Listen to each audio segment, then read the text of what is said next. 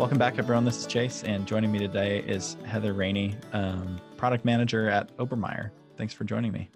Thanks for having me. Yeah, it's it's uh, good to talk to you. Good to meet you. This is kind of the first time that we're actually meeting and, and talking. We've talked a little bit over over email, but um, I guess maybe listeners would find this interesting. But we had Carolyn uh, Allen talk to our program, and and um, she provided some portfolios for our students um, that she just highly recommended like great portfolio examples. It was a class all about like how to how to build your portfolio what to do what not to do um, and how to stand out in the industry. And your portfolios was one of those that was recommended. And i've only heard like just the best things from our students looking at your work and saying how helpful it is. And um, and when i've looked at your portfolio i feel like it's unique in a way in the in the way that it's laid out and and just the way that you you display like a variety of your technical design skills as well as the product management element which i know you're doing now. So um, i mean that's what first drew us in which i guess is the point of a portfolio. So mission accomplished right? That's good. Yeah. Glad to hear. Yeah but uh, well we'll take a step back from that a little bit um, and just I, I want to learn a little bit more about how you first got into design. I know that's like interesting for our students. Um, everyone's kind of finds design in a different way and finds the outdoor industry in different ways. Um, but were you always interested in in design? Um, and then maybe we can touch on the outdoor space. Were you always interested in the outdoor industry? yeah, I probably have a more unique background in the fact that my mom was actually actually a buyer for an outdoor store. Um, so I grew up like around the outdoor industry and like she was a clothing buyer so i was around clothing from a very young age and i always thought it was really cool. And then um, like growing up i just always was creative and liked drawing but i also really liked math um, and everything science researching everything. So i mean i was doing like apr and calc 2 in the same semester in high school. So i like i knew i didn't want to do a art degree or just like painting or anything, but I wanted something more like tangible. Um, so then I think in high school, I went, um, I grew up in Fort Collins. So I grew up next to CSU and I went to the show for the senior presentations and I was like, whoa, this is really cool. And it kind of like, was just everything that I kind of liked and was interested in. And so I like knew that's where I was going, and like CSU was right there, and they have a good program. Um, so I went to CSU, and you kind of have to apply your first semester, and then you get in your second semester. So I applied for design and got in. So it was kind of like a smooth transition, and that I like picked what I wanted to do and just like stuck with it. Um, but yeah, I think just growing up being interested in art um, and i also have like my family is architects and um, I've always just kind of been around the design world. So I think that's kind of how I got introduced to it at first. That is like a, a more unique story because when I've talked yeah. to a lot of people who get into the outdoor industry in particular, a lot of people didn't even recognize like that's an option for them, right? Maybe they are like an outdoor enthusiast and they use the gear, and then after a while they look at the this gear that they're using and they think, oh wow. Someone like actually made this thing right? There, there's an yeah. industry behind this that makes it um, makes it happen. Um, and that's kind of the awakening for for other people. It's interesting that you and, and i think i i'm similar in a way where like i grew up along the wasatch front in salt lake. And so the outdoor industry is just you eat and breathe it. Yeah. um, and sometimes you take it for granted or you don't recognize that it's unique right um right did you have that experience just kind of growing up in in that environment growing up in in colorado being in the family you know with with the outdoors being yeah i think path? i i definitely like took advantage of it or like didn't understand how like privileged i was to have that um and to like yeah have parents that introduced it to me at such a young age and like grew up with that and then was able to like go to college in the same town. I mean i didn't live at home but like i was so nice to just i'm really close with my family to be there and be doing what i wanted to do but also be i love fort collins and be there. Um and so I feel like once I started to get into college and now post college, I've like really rediscovered like the outdoor space for myself um, and like really learned what I love to do. And I feel like as a kid, sometimes I didn't really appreciate that as much. Um, but now I've come full circle. well, are, were there any products or brands that really stuck out to you growing up that it kind of inspired you or, or helped you recognize, uh, like, oh, like designing product is something that I want to do. Like I want to be able to make what these people make. Yeah, I remember um like I started also in high school. I worked at the retail store. Mm-hmm. Um, it's called Jax Outdoor Gear. It's all across Colorado and one in Iowa. So um, I kind of I started as a cashier and then I went into um, our athletics department, so shoes and um, running shoes and running clothes and all the sports equipment. And then I did footwear and then clothing finally. Um, but I think like my mom would also take me when she learned I was interested in it, she would try and take me to buying meetings. Um, so when I started like meeting the sales reps and then learning I mean, researching the products, I always loved like Patagonia, Arc'teryx, and Black Diamond. And I was um, like with my mom when like Black Diamond started reintroducing clothing. Um, a few, I mean, now it's been a while, like 2015, 2014, I can't remember. Um, maybe even earlier. But yeah, I just started researching like what these companies were doing and like how much it was involved in the jacket like Arc'teryx. I'm like why is this jacket $800 and so it's like researching that and learning that i really started to like these companies. But i think that it's cool to work from like a retail perspective because you learn so much about all these brands. And i love like smaller brands too like sherpa who are just doing really cool things in their space and for other people um, beyond their company so I think just a mix of all these cool brands really inspired me. Well, how how important to you is that retail retail experience not only to understand like the landscape, like who are all the the players, the big ones and the small ones, um, as well as like having that that um, experience talking with the customer and hearing what they like, that what they don't like, um, I mean, you got both sides of that on the retail yeah. side, and and you could see like your whole story. I can mm-hmm. see like how it helps like culminate in you becoming a product manager, right? Because you're able to take all these experiences and and it's like everything that you need to to to do and and the skills that you need to have to be in product management.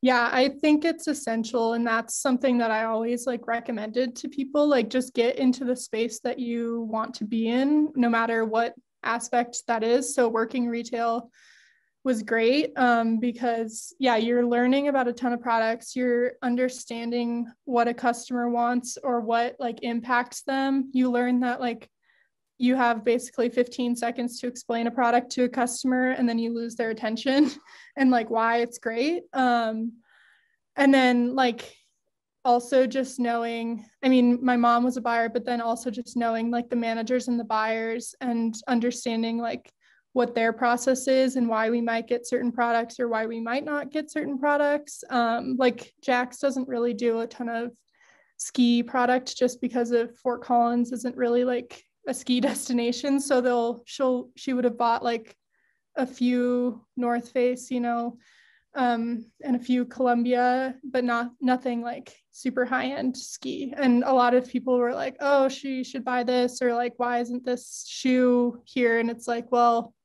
it's not really our core customer. So I think it was just understanding a lot more about the whole aspect of retail, buying, selling, all of that. Um, so I think that was a key component for sure. Right, right. So you graduate from your program, like was outdoor always the goal since you had kind of you'd had the retail experience, like, or were you kind of looking at other other areas of the, the fashion world or or was outdoor always the destination? Um i was pretty dialed in on outdoor. I tried like the csu program mm-hmm. is not focused into outdoor like you guys are. Um and so i was kind of like in a unique space where not a lot of people were doing it and the instructors were not as i think now they're getting a little bit more um, in tune with that, especially with a lot of brands coming to yeah. Colorado and Denver. But I was like kind of unique in my situation. And so I just remember being like, everybody's making like ball gowns, and I'm like trying to make climbing clothing. And like I would go to like Denver to use special machines because we didn't have them at our school and then like i was trying to i remember i tried to make this fleece with like an underarm panel and my instructor like didn't understand and she asked me to like turn it into a dolman sleeve and i was like that's not what i'm going for. So it's just a lot of like experimental things. Um, but i was pretty dialed in on that and i had two um, internships in the outdoor space during my time at college. So and they were both yeah outdoors. Um, I did look briefly at like going to a different city and like I think if I had done that, I would have focused on like sustainable clothing brands, um, but still kind of that outdoor sustainability mindset. Right. It's I I just had this conversation. We actually just released this today, but a conversation with Sigrid Olsen. Um, and she she's a student over uh in, in Europe um at a university over there, and it's a fashion program. And but she grew up um, just wanting to focus on the outdoors and having to kind of customize her degree in a way, which it sounds like you had to do. Um, sounds like there's a lot of value in that at the same time as maybe it's frustrating, right? To like yeah. not have all the resources there. I, um, cause I feel like that's just kind of working in industry too, right? Like you just have to figure out how to get stuff done. Do you feel like that ended up helping you in the long run? Like just helping you, um, just kind of develop some resiliency and that ability to just like go and figure out how to get stuff done. Yeah, totally. I mean, yeah, exactly what you said. It was just kind of like, well, figure out how to make it work or figure out a new way to do it. And it was a lot of like learning and trying and failing and moving on. And then like I think that that also allowed me to like learn a lot more. And so now I can be like, oh, I think this is either like we're not getting the result we want in the product or we're getting us extremely high cost because of this. And like i just remember sewing it back in college and being like it's really hard to do really pretty curved seams with like a knit. So why are we asking the factory to do that and stuff? So i think it did play a part in that even though like when you're in it you don't always see that and you're frustrated. yeah. I, I know that I, that resonated with me. I mean, that point of like making something yourself and then like that giving you a better appreciation for what the factory can do.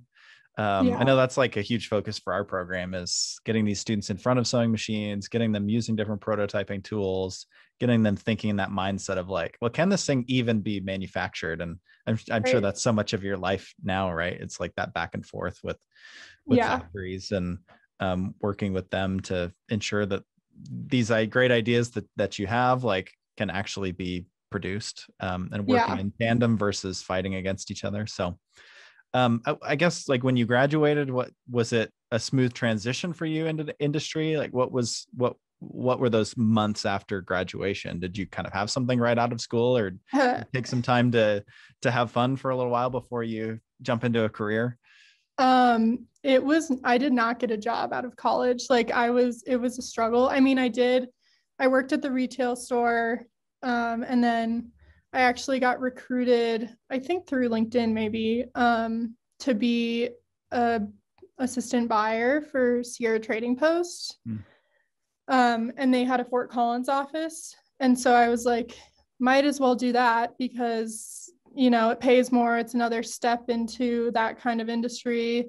And I had already worked retail for like six years at that point through school and everything. Um, so I moved home to my parents' house and I did that. And I applied for so many jobs and I interviewed for so many jobs. And it was just like, you're great, but we have this person with five years of experience applying for the same job. So get some experience and then we'd love to talk to you again. And it was that over and over and over again. And I was getting like so frustrated and disheartened. And I was like, I don't know what to do differently. And I was like working and trying to do like some stuff for my portfolio. And then I was also networking a lot with people on LinkedIn who are like in positions that I wanted to be in or just even like I'd look up who graduated from CSU and like what they were doing, and I'd try and talk to them um, and just like gain insight. And I was like listening to all this stuff about like how to interview and how to do this. And um, yeah, it was a lot. And then I was also helping, uh, I was doing a little bit of freelance work for other people who did freelance work. Like they just needed help. A freelancer um, for the freelancer. Yeah. like a girl that graduated from CSU, um, she works in Boulder and she does a lot of design, like contract design for people. And so she just needed help like doing tech sketches and stuff because she didn't like that part as much. And I also helped her like with the print development and then I worked for this woman who has a business again doing freelance and I do like tech sketches for like football, high school football uniforms and stuff. So it wasn't a ton of work, but it was just something for me to do and try and like get some experience. So yeah, and then I finally um, got a job. I got a contract, like temporary job with Pearl Izumi because they had somebody going on maternity leave. And so I did a six month contract product development job there. Um, and then it then I moved to Obermeyer. But it was yeah, it was not super smooth for me. well, I feel like um, I mean there's like yeah, I mean graduating, I think a lot of students just expect that something's going to be there, right? And a lot of that is just what you're told, right? That's you go yeah. to get a degree and then there's a job waiting for you at the end and it's like not how it usually works. Um, yeah. Like there's just so much of what you're talking about, like the networking side of things that I don't think gets covered as much as it should um, in school, which what we're trying to do a lot more of, um, like how to talk to people, how to reach out to people on use like on LinkedIn, like using that, like LinkedIn should be your best friend, right? To try right. to find these types of opportunities, um, being willing to take like the freelance opportunity just to get real world experience because i our students struggle with the same thing right? They they look at um, job postings and it's an entry level position but it requires three to five years of experience. Yeah. well that's not entry level. So um like and they'll like, find the people that have the three to five years right, like no problem right. it seems. Yeah. So that's that's where i really respect like just the grit uh like to to go and like just take like the freelance for the freelance gigs um, because it's that real world experience that I feel like like sets people apart, right? And you know, yeah. when you come out of school, unless you've had two internships, right? Um, you know, that real world experience is what's gonna make the difference. And if you do two internships and then for some freelance gigs, that can slowly add up yeah. to be a year, two years of of experience that you can can actually say, yeah, I have two years of experience. Um, so I, I know that's just that's really good for our students to hear right? It's like just be willing to take those opportunities. Be willing to take the the temporary job. I haven't heard that as much yeah. but i'm sure that's really common right? You have people leaving or on leave um, temporarily um, and someone yeah. needs to step in to take the role. And um, uh, did you ever feel like you wanted to be picky about the opportunities? Or did, were you always of the mentality that i just need to take whatever comes um, and see where it leads yeah, I mean, I think a mix of both. Like I wasn't willing to just like go do anything and move. I think if I had to move out of state for a temporary job, that would have been different. Right. But um, the fact that it was near me, I was like, I have nothing to lose. Um, and same with the like the Sierra Trading Post job. Like it wasn't what I really wanted to do, but I just knew that I needed to like take that jump and get experience and have I mean that's a pretty big name and they're owned by TJX Corporation.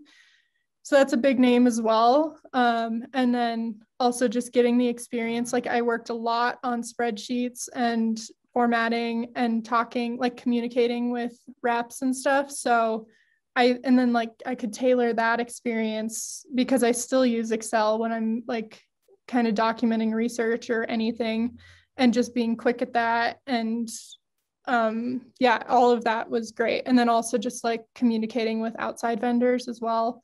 Um, so i think all these experiences can you can learn something from them and take that and apply it to whatever you want.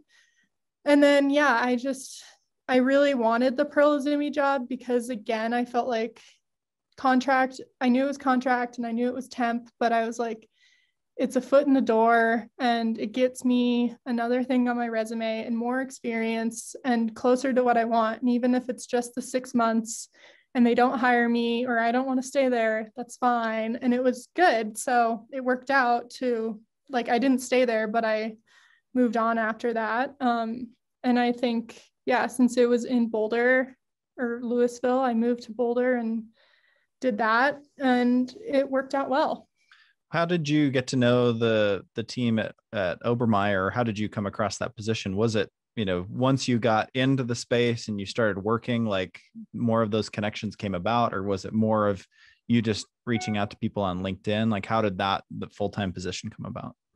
Um, I was doing a lot of like applying and again interviewing more towards like the end, like I mean, I feel like interviews and the process takes a while usually. So probably the last few months of the contract work, um, when I was like, okay, I'll start interviewing and applying. But then actually, um, a professor from CSU reached out to me about the Obermeyer opportunity because they were looking for somebody and asked for recommendations. And so she recommended me, and then I started interviewing with them.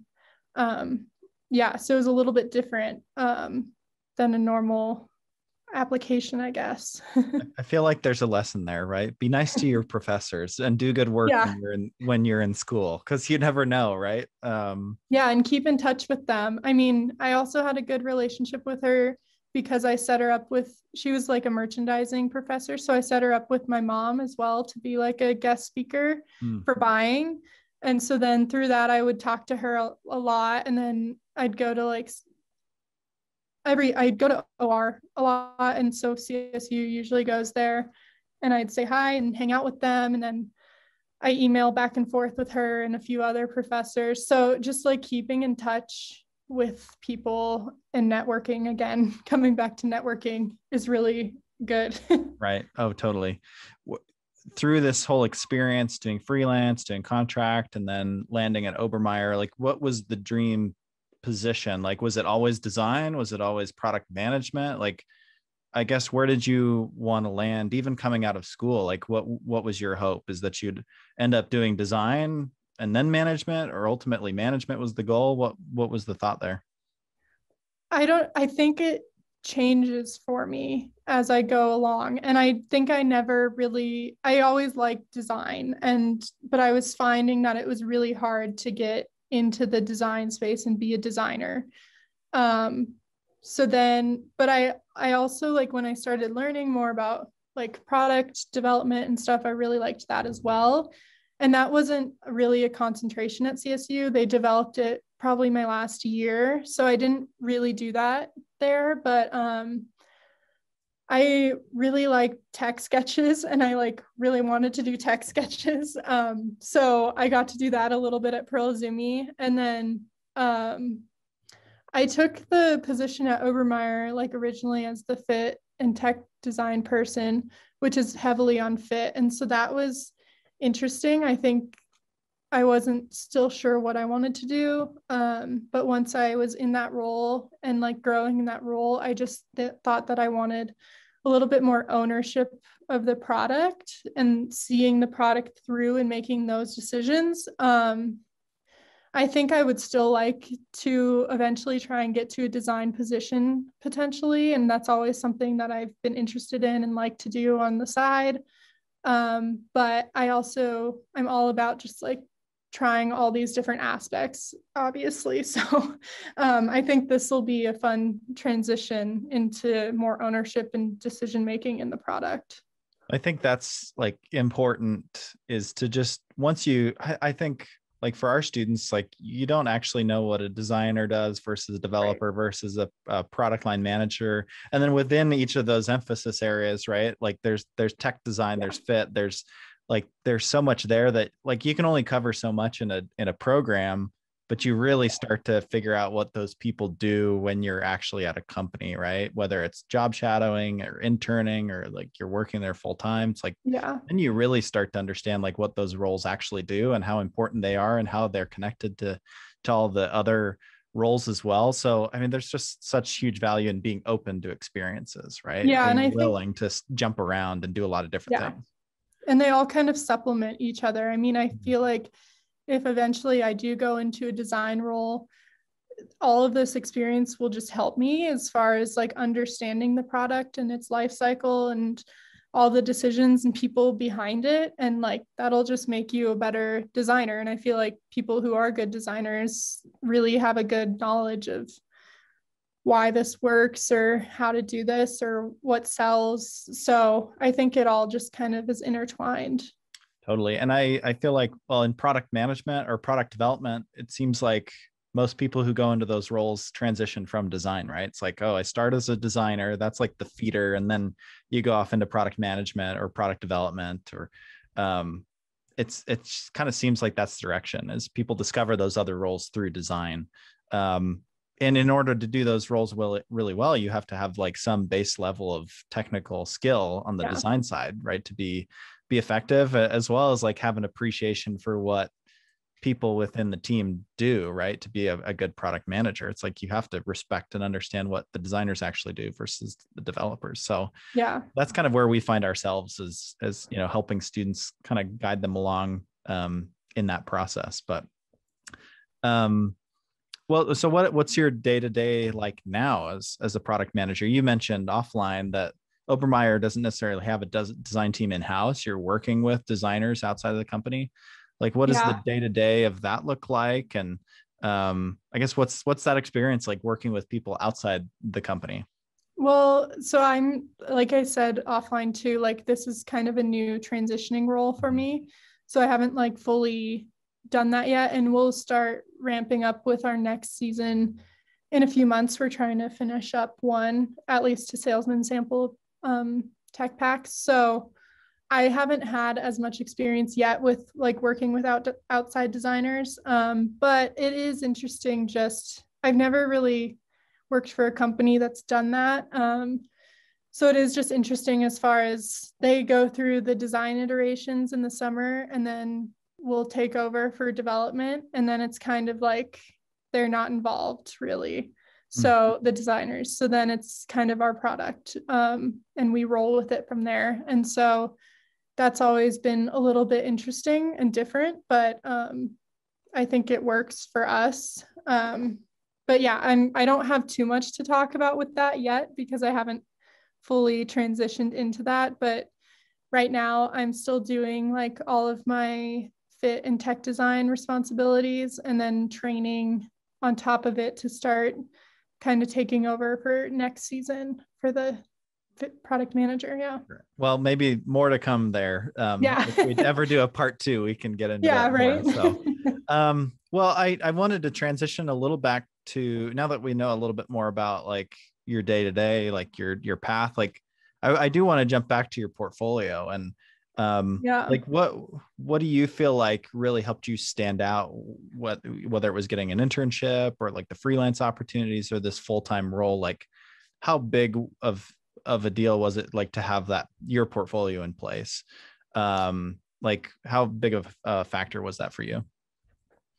I think it was a big factor depending on which job it was, mm-hmm. but um, I think like when I got my, I didn't really. I'm trying to remember with my first internship.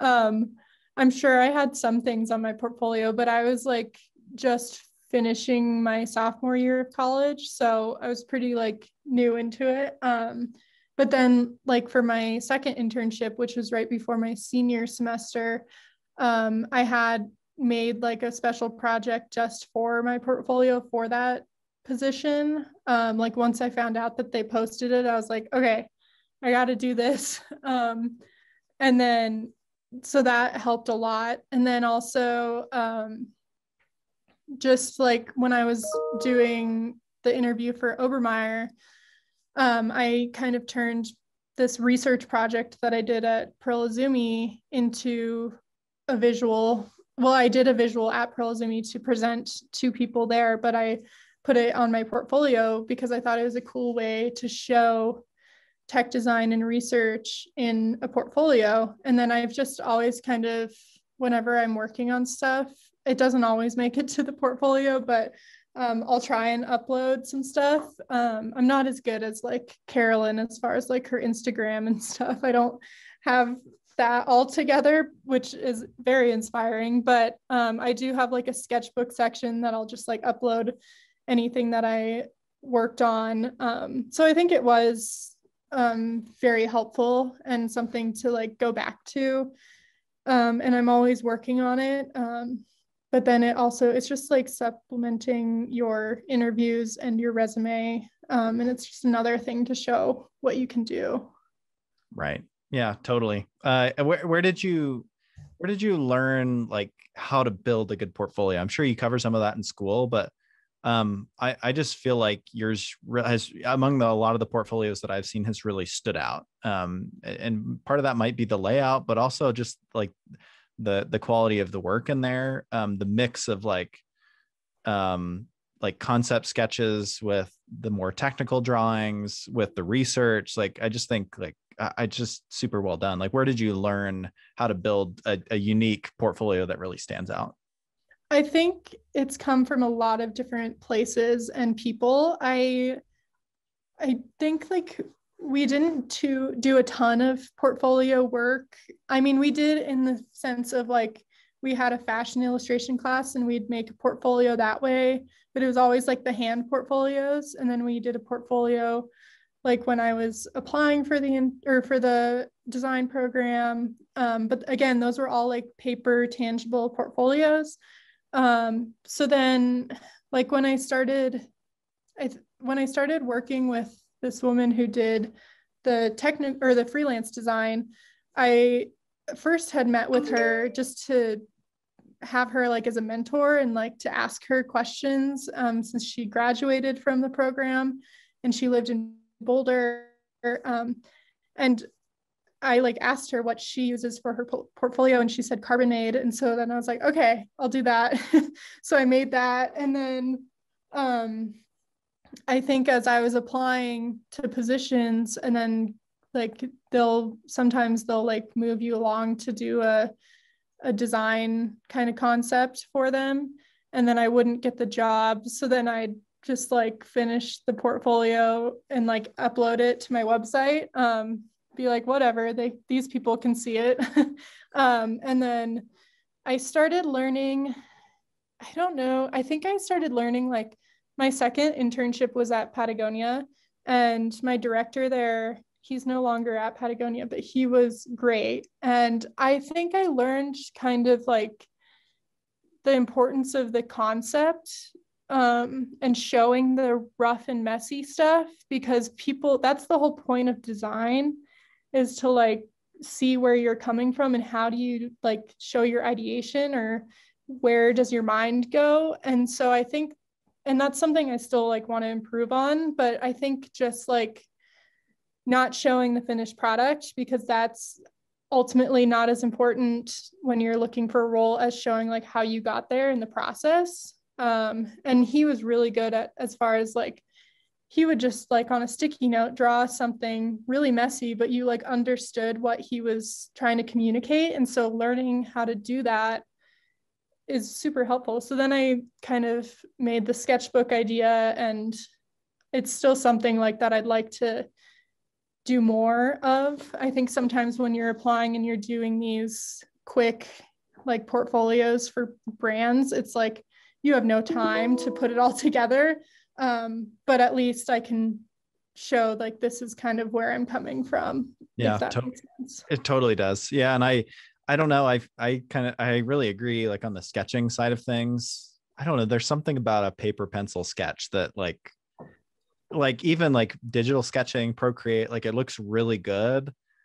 But for some reason, like I think I see a paper pencil sketch and I I think, wow, you like you you could do that really quickly on paper like yeah. i don't know it's like I, for some reason i it just makes you think of a, a sketchbook and the process and um like a person's ability to like quickly get those ideas out on paper versus like something digital that uh, you know granted people can do a lot of really cool things quickly digitally but i don't know like a sketchbook i feel like communicates that that ability to quickly get ideas out Right. on paper and and you're a quick communicator in that way um i don't think that's always the case but for some reason that's what's communicated to me when i see like some of those rough sketches um in addition to all the other technical skills um that that complement that and are are important as well but Yeah.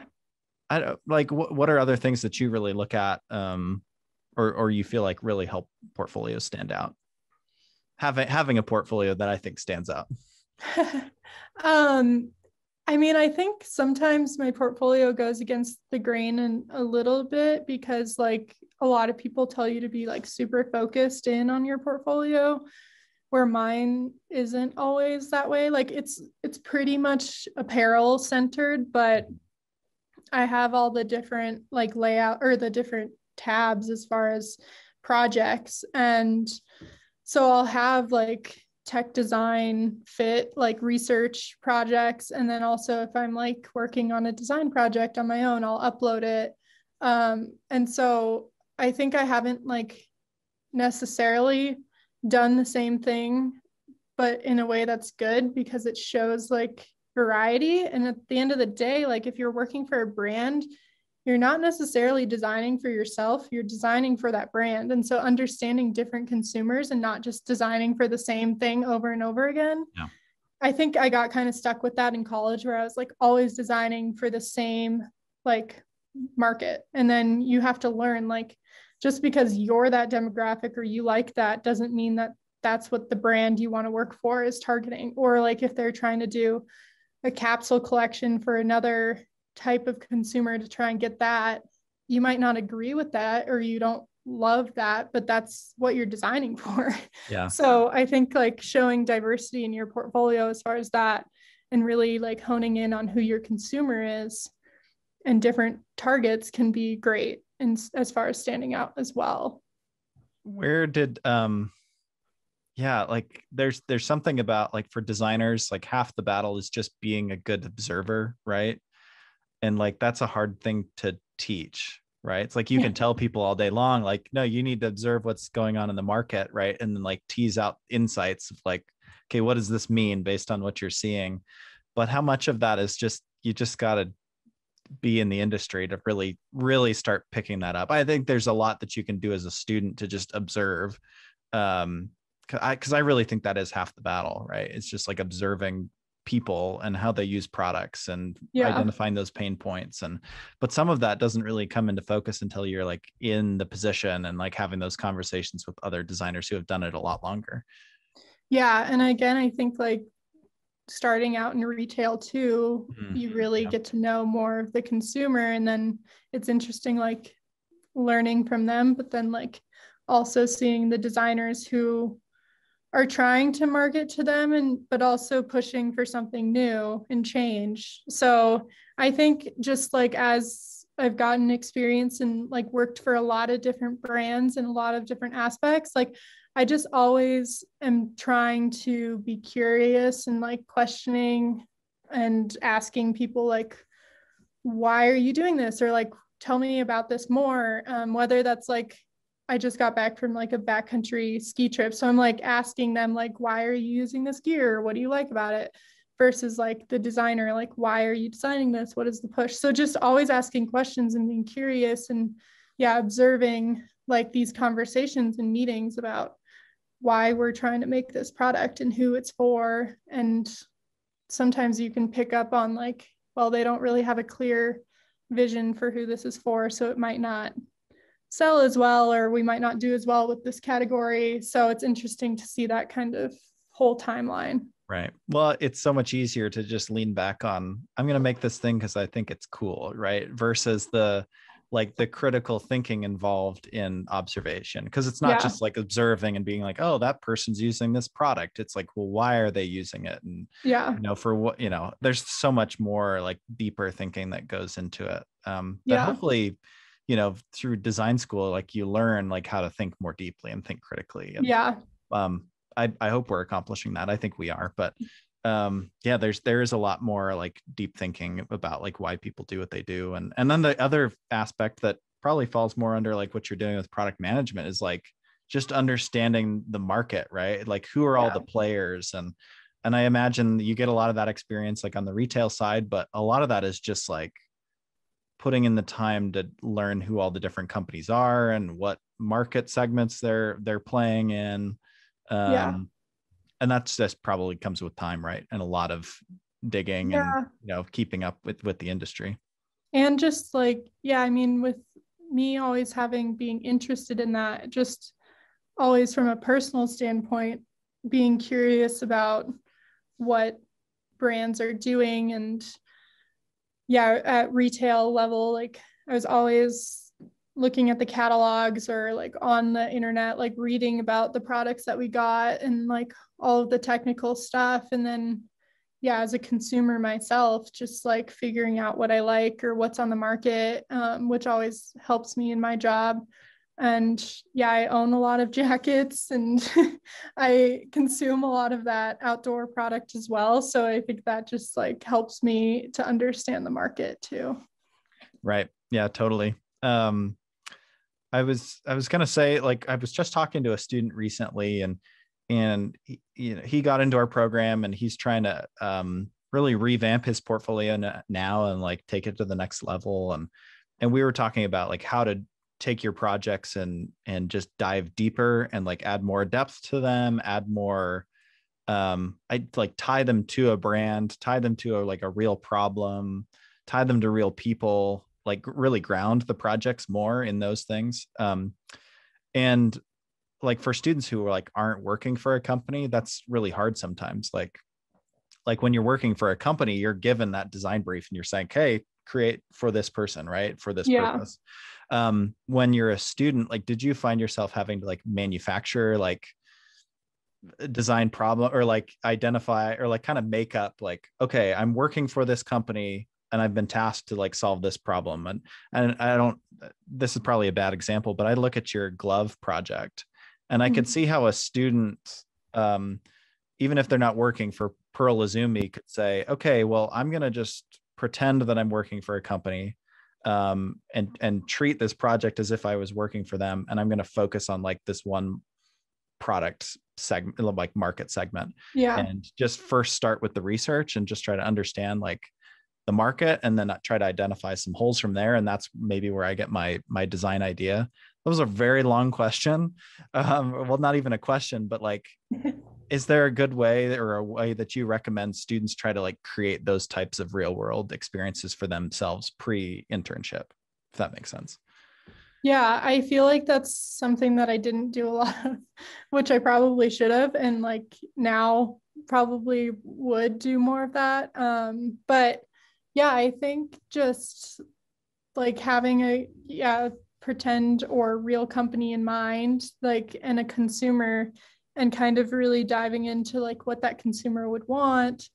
Like i i said i had made a portfolio project specifically for my patagonia internship like before i applied. So that was like oh i want to intern there. So i'm going to make this project and think of them like as my consumer um, and what they would need. Um, so i kind of did that but um, i think yeah, if you can almost like come up with your own design brief and also using, I don't know, I'm sure you guys have like trend forecasting available but I wish we had more.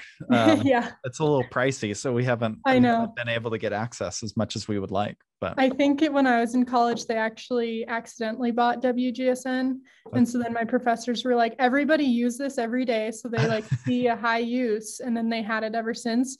So that was That's a, a good accident for the students. I'm sure yeah, that it was there great. were some heart attacks on the administration side, but worked but out. Like even if you don't have a trend forecasting website, like using Instagram, looking at what mm-hmm. people are doing. Like these, there's so many creators on Instagram and like people in these like more niche spots. Like you can take so much inspiration from that. And like, I know that we have WGSN here, but like not even using that as much for the outdoor industry, except for maybe when it comes to like color. Um, but I just think like looking at your surroundings and being inspired by people. Like I always have like notes in my phone or like I'll voice record things when I have ideas and just like always taking note of what I'm observing or if I have ideas. And then you could kind of like compile some of those or have a list and choose from that and develop that and research it into more of a concept yeah there's there's a lot of ways i feel like that you can kind of bootstrap it yourself right it's like there's tons yeah. of people now to, like there's more people than ever talking about the industry right and talking about like yeah. i mean there's there's any number of podcasts that would be would be good like different instagram accounts like free reports that are out there like there's ways that you can kind of cobble some of that together i think like there's more information than ever um it's like how to find the right information how to piece it together yeah. um and then how to interpret it right so um right. that's yeah I, I think there's a huge opportunity for our students to to do more of that for sure but that's so much of your world right? Yeah. Yeah so is. they better better to start practicing that now or getting into that mindset of like i don't know um looking for those um i don't know. I'm trying i'm blanking on on the term but i think you get what i mean so. Yeah I'm always like looking for inspiration. Yeah. like even if I'm in a thrift store and I see something and I don't want to buy it, I'll just take pictures or like kind of jot something down either on paper or in my head and just like who knows, I might use it. It might be like 5 years from now, but just yeah, seeing what's out there. Well, I think I'm glad that you mentioned that too. That was one of my questions, right? It's like finding design inspiration. It's like and I think that's a question that gets asked a lot. It's like, how do you find it? But then how do you like store it so that you can retrieve it later is i think the the other thing that's hard to do right it's like or like just yeah. being in that state of mind where yeah i'm gonna i will take a picture of something when i see something that's interesting like sometimes i think we're just not in that mindset of oh i should save that for later and then setting up a process for yourself to be able to go and like find that material when you need it later on right yeah um, i know yeah. that i've I, I know instagram's been good about you know you can save posts. I've been saving posts so much right? It's like can create yeah. folders but there's different tools. It's just all about finding your own process i imagine. Yeah and i think mine's kind of all over the place like yeah. i'll um print out images sometimes or like anytime i'm working on a project i use like one of those expandable like folders and i just always keep anything. Like even if i think it's stupid i just like keep it there. So i have stuff from like my freshman year of college but it's nice to just like look back and see what I wanted to do or like regain inspiration. Or, like I said, sometimes I'll leave myself voice memos. So I was like just listening back to something from like 2016 that I said, and then I'll have like notes app in my phone. So I'm kind of like, I don't have it all in one place, but I also feel like whenever something hits you, like just do whatever you can to write it down and figure it out later. right. Well, that's that's like an incredible level of like self-awareness and and self-reflection, um, which I think more designers could could use and um, would benefit them long term. But I know we're pushing up against an hour here. I don't, I don't want to keep you if you if you have yeah I I do actually have another okay. meeting at twelve. Okay, well we'll wrap up here. I, this has been great. We can always do another one too. There's like so much more we could dive into, but this has been fun. I'm going to include, uh, if it's all right, a link to your portfolio if people want yeah, to take a look. And from there, they can stay in touch with, with you that way, right? Yeah, for sure. Okay. Perfect. Yeah, it was great to talk to you. Yeah, great to talk to you. Thanks for being willing to to share your experience. Yeah, of course.